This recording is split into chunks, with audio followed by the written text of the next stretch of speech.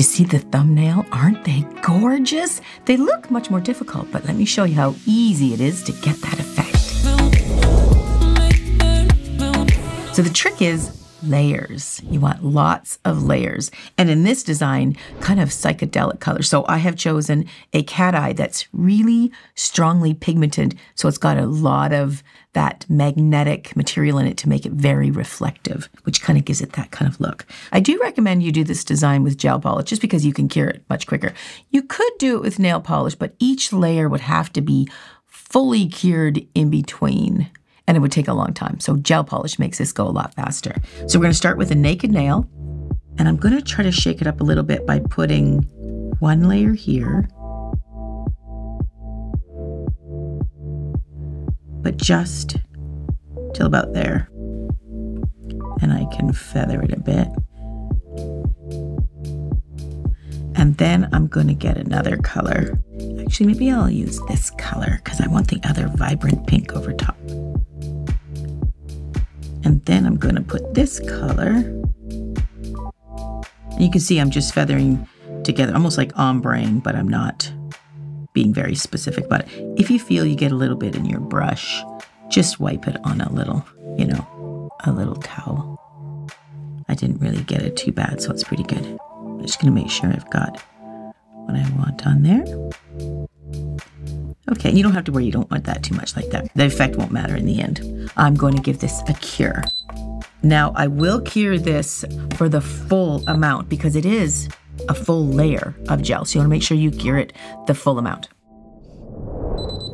Okay, and then I'm going to put two more layers of colors on, and they're going to be different. I mean, I don't really know. It's it is rather random the selection of colors that you're doing because once you start well, you'll see when you do the effect. Okay, I'm gonna put, I actually do like the blue on top of the green. So just put it right on top. I know that sounds weird, but just put it right on top. And then I'm gonna do maybe this deeper color. Deeper. It's it's actually quite a strong kind of deep pinky color.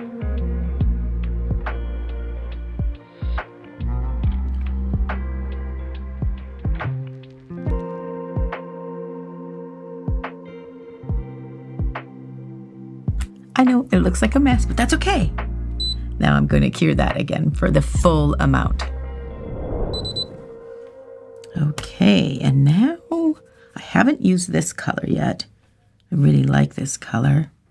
And so I have one, two, three, four, five, six. So I'm going to use these two because these are the two colors I haven't used. And you don't have to use them all. And you can use more. Okay, I think I'll put the purple over top of the blue. And this vibrant, really strong pink right over top of the deeper pink.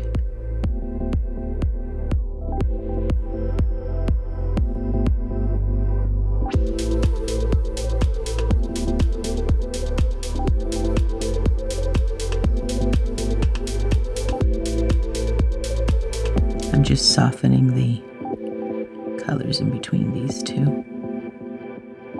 Okay. Once again, I'm going to go for a full cure. Okay, now once they're all layers are fully cured, you want to remove that dispersion layer. Some people call it inhibition layer. That's just that sticky stuff that rises to the surface as it's curing. Okay, I'm going to wear a mask for this because I'm doing some filing and we want to protect those lungs. Okay, I'm going to grab my e-file. I've been soaking my bit. Now this is a bit that's got a bit of teeth on it. You could do it with any bit that's going to sand it. You could do it with hand files, and I'll show you a little bit of that. But I'm going to use it with a bit because I don't know, I'm impatient. and what you want to do is you want to file, just start filing and do it quite gently. What you're doing is you're removing color and letting the color underneath appear. And of course, it depends on how much you're removing and how deep you go into those layers that you got on there.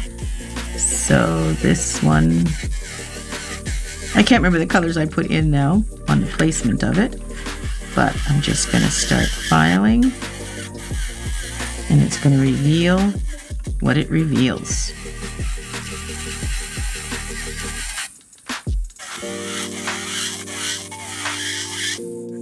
That's looking pretty cool.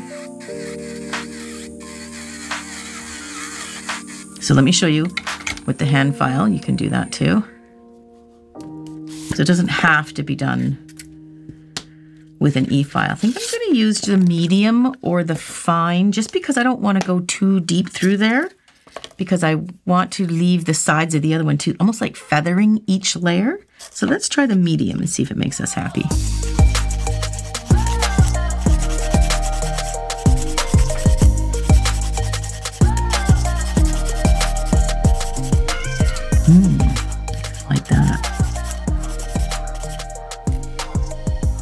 You just wipe it away, wipe away the dust. And so you're sort of getting that effect.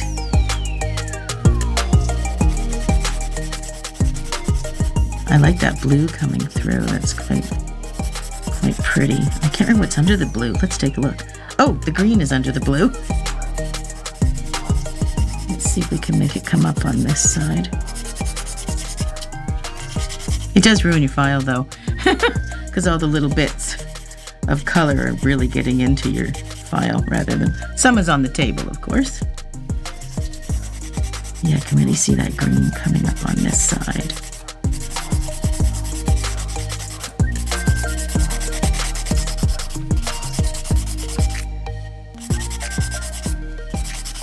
So you have to be kind of strategic with your filing. You don't want to file in one spot for too long See the green coming up there? I like that too. Ooh, that's pretty. Okay. Do want the green to come up over here. That's the last layer. So what was the purple, blue, and then green? So I do want a little purple to stay there, but I think I want that green to come up. I really quite like it. Oh, there it comes.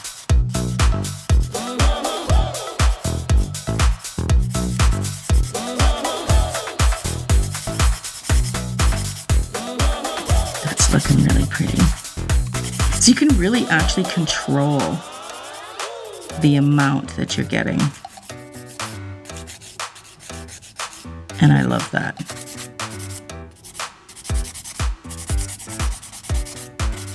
Okay, let's take a look. I might like that.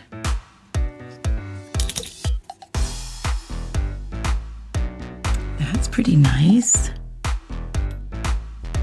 Hmm. Now that's not polish in there, that is the dust that's gathering in there. That's pretty nice. Okay, I think I'm gonna sand it out with my sanding sponge. Just give it sort of a feathery, softish look.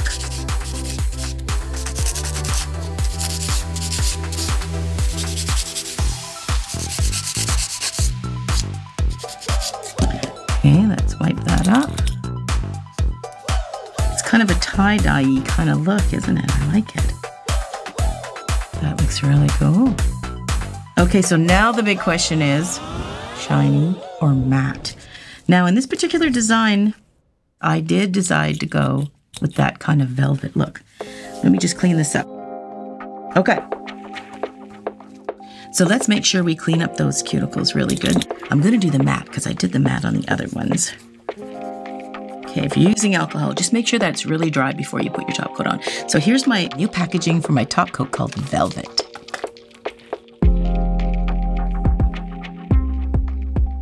Ooh, we'll get to actually see what it looks like shiny because the matte will go on kind of shiny until we cure it.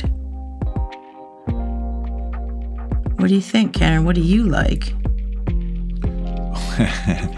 the perennial debate. I always like shiny. I mean, the shiny is cool, but for some reason, I like the matte on this one.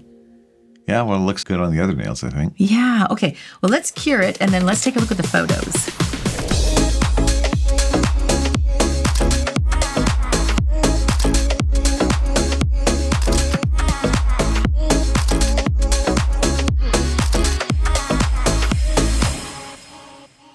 So that's what it looks like when the matte is cured. And that's how I got this finish with them just all being quite matte rather than shiny.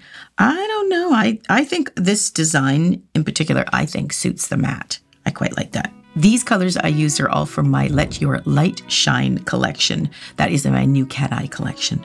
Beautiful. I love it. Okay, well, if you're interested in any of these products, everything you see here today is available at nailcareer.com. Thanks for joining me in this video, and I'll catch you in the next one.